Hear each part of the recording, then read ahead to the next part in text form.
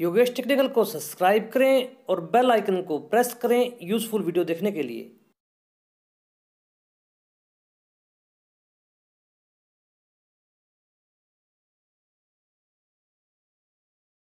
में आपका फिर से बहुत बहुत स्वागत। दोस्तों, आज हम इस वीडियो में जानेंगे पीवीआर कंट्रोल्स के माइक्रो प्रोसेसर पचहत्तर चौबीस टी के एक खास पैरामीटर के बारे में।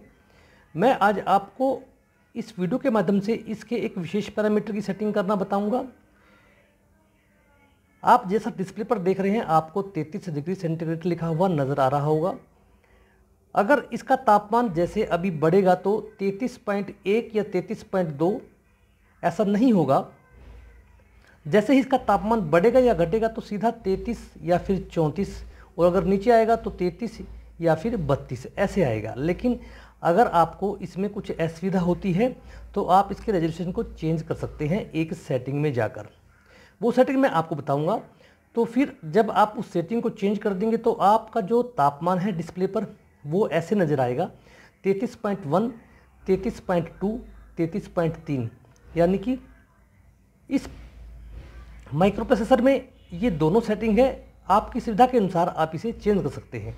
तो दोस्तों चलिए चलते हैं। इसके लिए आपको एक विशेष पैरामीटर पर जाना पड़ेगा वो मैं आपको बताता हूँ। सबसे पहले आपको प्रोग्राम का बटन दबाना पड़ेगा। इसको हल्का सा आपको टच करना है ये टच सेंसिटिव माइक्रो प्रोसेसर है। उसके बाद हमें इन प्रोग्रामों में आगे जाना पड़ेगा। आपको पी नज़र आ रहा है अब हम आगे जाएँगे ऊपर की तरफ़ से। पी टू के बाद P three P H S L S P4, P5, P6 OT, E1, CN, CY, E2, E3, E4, E5, E6, P7, P8, P9,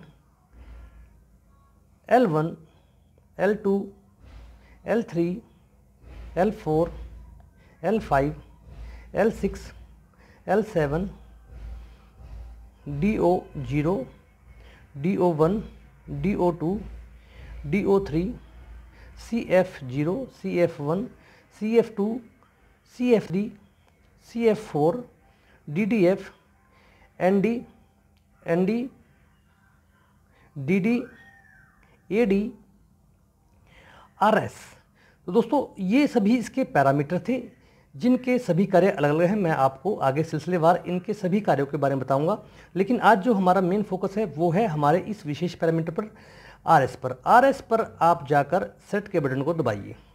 आपको डिस्प्ले पर एक लिखा हुआ नज़र आ रहा है। अगर आपको इसका रेजोल्यूशन चेंज करना है यानी कि अगर आप आपके इस माइक्रोप्रोसेसर के डिस्प्ले पर तापमान 1.1, 1.2 ऐसा करना चाहते हैं तो आप को ये सेटिंग चेंज करनी होगी। आप जैसे ही ऊपर वाले बटन से, नीचे वाले बटन से इसको करेंगे।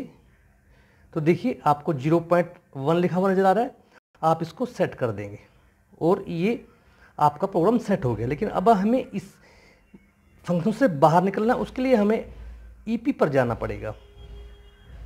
एल पी एफ़ एस और दोस्तों ये ईपी e ईपी e पर जाने के बाद आप सेट का बटन दबाइए तो आप इन फंक्शनों से बाहर निकल आएँगे।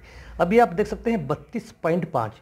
अभी जब हमने पहले देखा तो बत्तीस था सिर्फ़ उसके आगे कोई भी वर्ड नहीं था। तो अब हम इस डिस्प्ले पर बत्तीस पॉइंट पाँच, बत्तीस पॉइंट छः इस तरह से तापमान को देख सकते हैं। यह जो सुविधा कंपनी ने दी हुई है ताकि हमें अपनी सुविधा के अनुसार हम इसे चेंज कर सकें। दोस्तों, वीडियो को लाइक और शेयर कीजिएगा। चैनल को सब्सक्राइब करना मत भूलिएगा। मैं आपको आगे भी ऐसे ही ज्ञानवर्धक वीडियो आपके लिए जाता रहूँगा। धन्यवाद दोस्तों।